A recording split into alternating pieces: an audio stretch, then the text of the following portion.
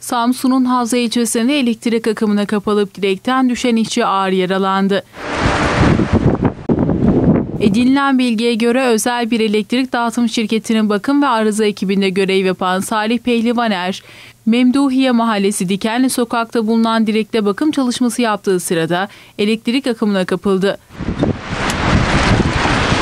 Direkten düşen ve ağır yaralanan Pehlivaner, 112 acil servis ekibince Havza Devlet Hastanesi'ne kaldırdı. Burada yapılan müdahalenin ardından Samsun Eğitim ve Araştırma Hastanesi'ne sevk edildi.